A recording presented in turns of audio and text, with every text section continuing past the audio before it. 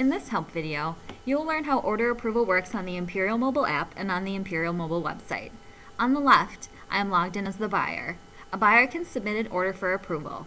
On the right, I am logged in as the approver. The approver can approve, decline, or delete orders that are submitted by the buyer. As the buyer, add an item to the shopping cart. Once the item is added, proceed to the checkout. Add a PO number if you have one and send the order for approval. You will receive a confirmation that the order was sent for approval. As the approver, click Orders Awaiting Approval. You will see all the orders that are awaiting to be approved. A few seconds ago, the buyer submitted an order. The approver can approve, decline, or delete the order. Let's approve this order and leave an optional remark. The remark is sent to the buyer via email once the order is approved.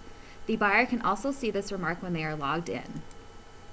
Once the page refreshes, the order goes into review status, meaning that it was submitted.